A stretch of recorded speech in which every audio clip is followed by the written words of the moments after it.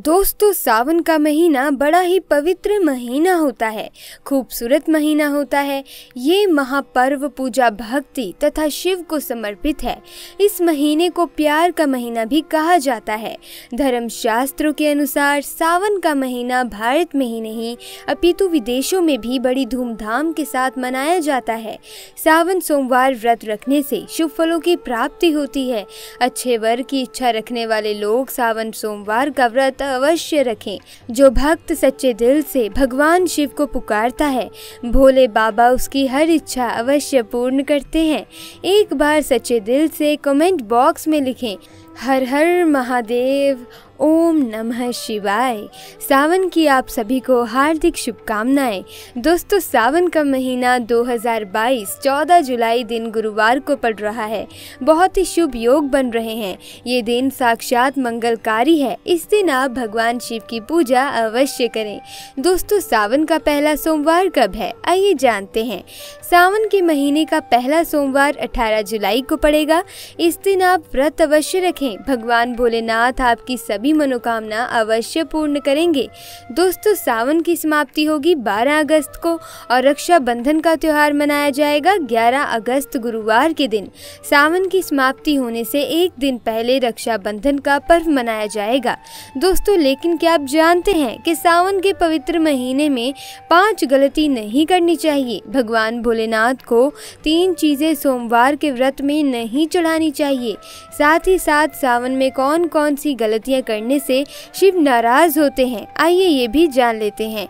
लेकिन उससे पहले आपसे रिक्वेस्ट है कि वीडियो को लाइक ज़रूर करें।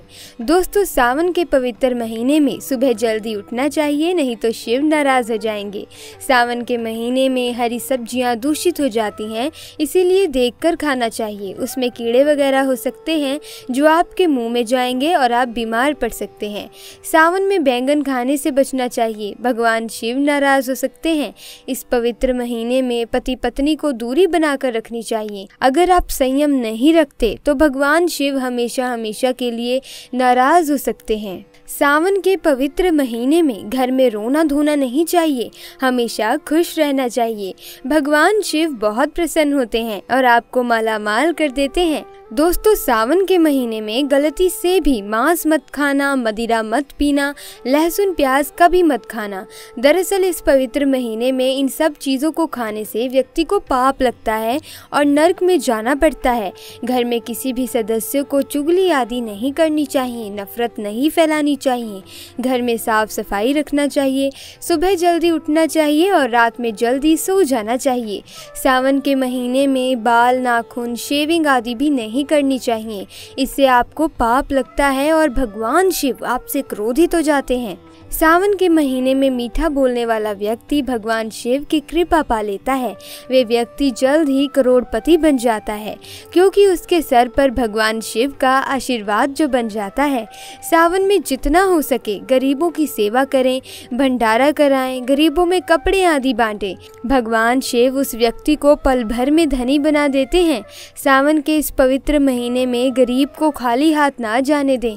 गूँगे जीव को भोजन अवश्य कराएँ, क्या पता उस गरीब के रूप में भगवान शिव हो या उस जीव के रूप में भी भगवान शिव हो सकते हैं।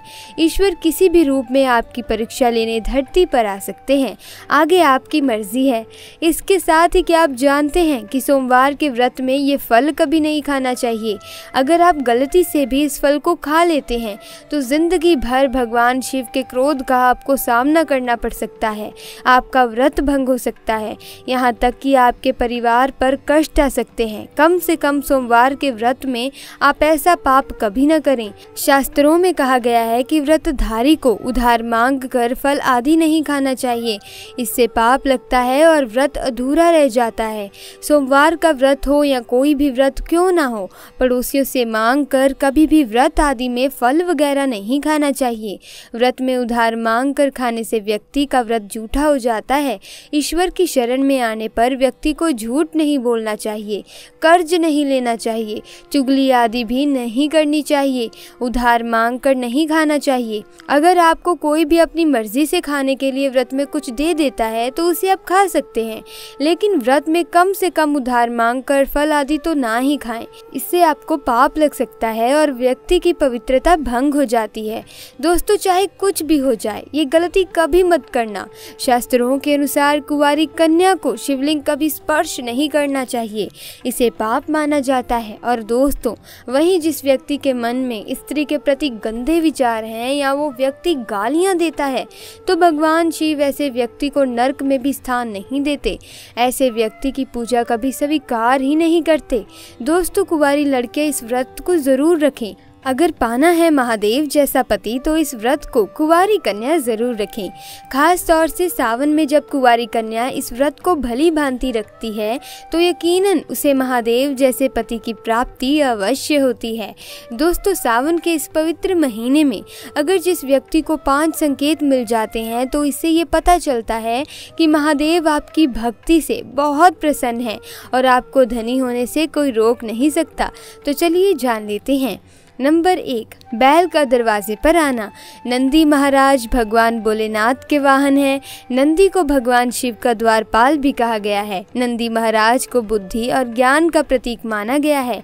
शिव के मंदिर के बाहर हमेशा नंदी महाराज विराजित रहते हैं। लेकिन अगर सावन के इस पवित्र महीने में अचानक से नंदी महाराज आपके दरवाजे पर आ जाएँ और घर की चौखट को सींग मारने लगे, तब आपको समझ लेना चाहिए कि भगवान शिव आपके घर में आने वाले हैं, क्योंकि ये उनके आने का संकेत है।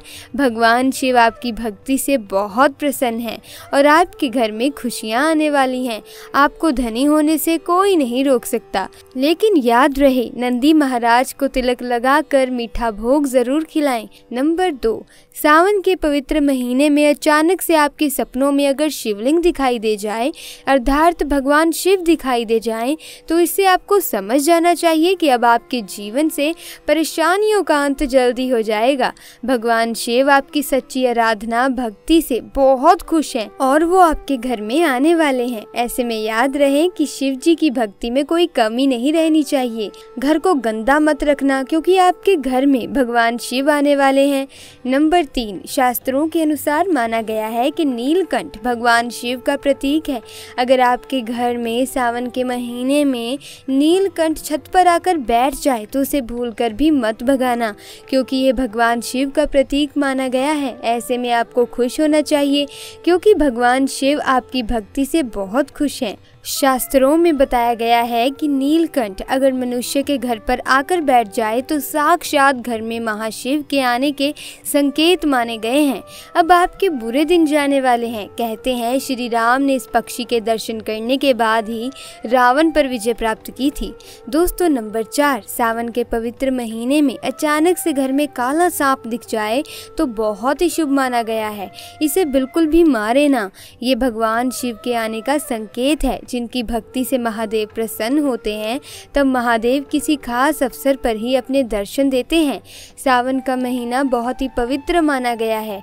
ये वो महीना है जिसमें भगवान शिव धरती पर आते हैं और उस घर में अपना वास बना लेते हैं।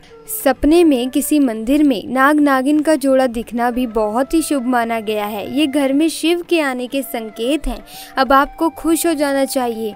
दोस्तों, नंबर पाँच, सावन के शुभ अवसर पर सोमवार के दिन डमरू की आवाज़, घंटियों की आवाज़ अगर सुनाई दे जाए तो ये अत्यंत शुभ माना गया है। इसका अर्थ यह है कि भगवान भोलेनाथ आपसे प्रसन्न हैं और जल्द ही आपके घर और जीवन में प्रवेश करने वाले हैं, जिससे आपके जीवन में आर्थिक तंगी दूर रहेगी और जीवन में सुख समृद्धि आएगी। महादेव आपसे बहुत खुश हैं। दोस्तों, आज की वीडियो में बस इतना ही। अगर वीडियो अच्छी लगी, वीडियो को लाइक कीजिए, चैनल को सब्सक्राइब करना मत भूलिएगा। आपका बहुत बहुत धन्यवाद।